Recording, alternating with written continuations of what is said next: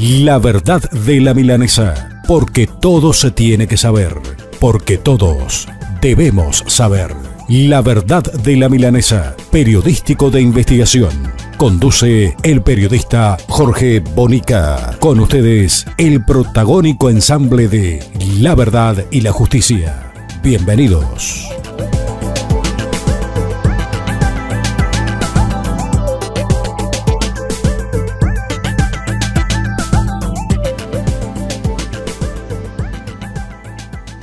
¿Qué tal amigos? ¿Cómo les va? Buen jueves para todos. Espero que estén pasando bien. Aquí comienza la verdad de la milanesa. Y la verdad de la milanesa es que el, el sistema político profesional uruguayo siempre nos robó, permanentemente, desde que me conozco, ¿eh? desde que estoy investigando en el Bocón hace 25 años, pero antes todavía lo hacía en Radio Oriental, en Radio Carve, que por supuesto me echaban, ¿no? Cuando uno en un medio de comunicación eh, de Montevideo, del interior también me pasó varias veces, ¿no? Dice algo que puede perjudicar económicamente al medio, te corren. Es lógico, es de sentido común. Si vos estás denunciando cosas que los perjudica económicamente, te corren. Claro, los problemas es que los políticos cuando yo hablaba, apretaban a los dueños y le decían, bueno, pará, te estamos dando una publicidad de la UTE y este loco denunciando actos de corrupción adentro de la UTE, no, no te damos mala publicidad. Son unos mafiosos. Mire que esto es una mafia, de verdad es una mafia. Te dan cuando les conviene para taparte la boca. Ahora, si hablas de más, te cortan. Y es plata nuestra. ¿De dónde sale la plata de la publicidad para hacer publicidad? ¿De dónde salieron los 91 millones de dólares que la señora Carolina Cosi en la presidencia de Antel dice que invirtió durante cuatro años? ¿Dónde estaban los directores de los entes? ¿O era de Carolina Cose un negocio propio? ¿A quién le gastaron? Siempre fue igual. Mire que este país siempre fue igual. No crean que fue el maldito Frente Amplio que hizo gastos increíbles de publicidad. Sí los hizo. Y se habrán robado muchos, habrán mordido en 91 millones de dólares, habrán mordido muchísima plata. O no mordió nadie con la construcción de la Arena.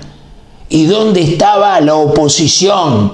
Yo pregunto, ¿dónde estaba la oposición? Los que tienen la función de contralor, que tienen que controlar en nombre del pueblo uruguayo. Los votamos para que nos representen y después se hacen los asombrados. O se asombraron porque se fundió la ANCAP, que fue Raúl Sendic solo. Él hacía lo que quería en la ANCAP ¿Y dónde estaban los directores de los entes de, de, ANCAP durante el gobierno de Raúl Sendic?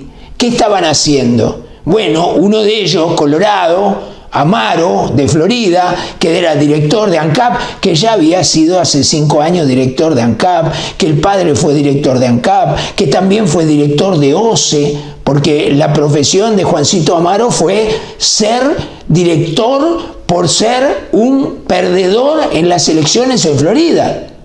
O miento, o digo algo que está mal, o estoy metiendo la pata.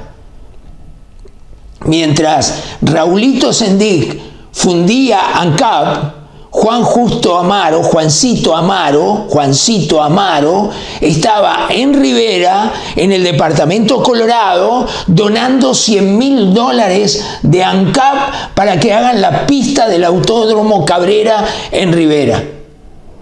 Vamos, política barata, inmunda, asquerosa, con la plata nuestra.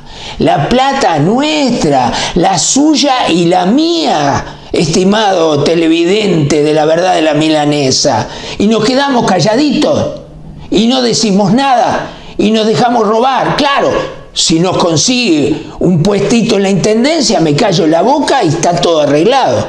Si consigue que la nena o el nene vaya al hogar estudiantil de la Intendencia de Montevideo, me callo la boca y no digo más nada. ¿Qué me importa que me robe si yo saqué un beneficio?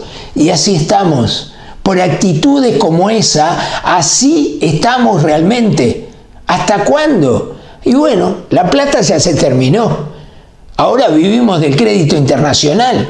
El Frente Amplio en los últimos cinco años pedía plata para pagar los sueldos de los funcionarios públicos, para pagar el costo del Estado.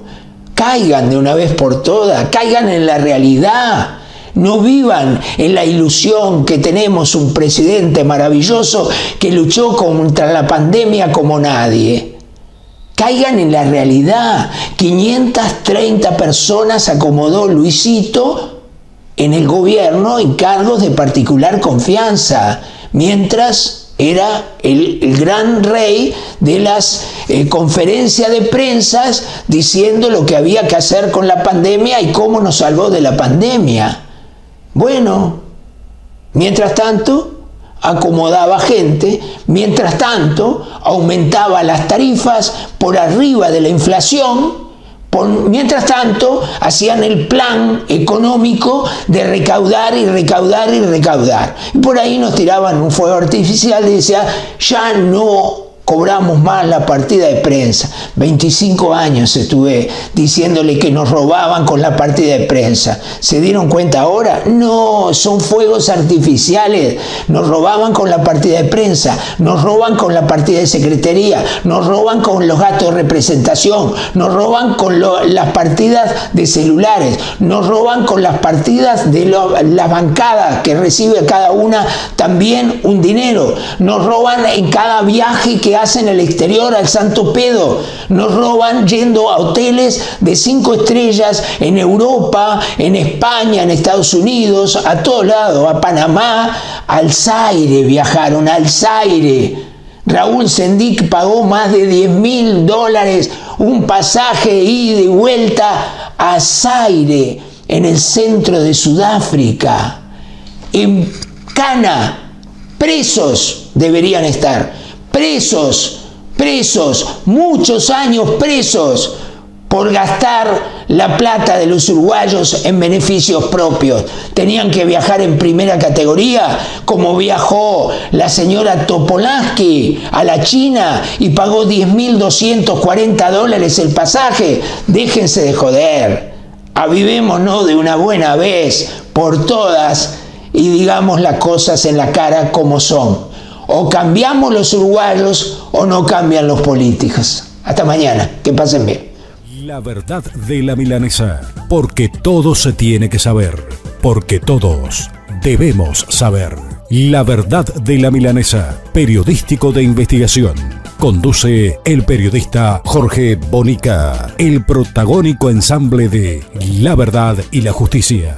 Será hasta nuestro próximo encuentro. Muchas gracias.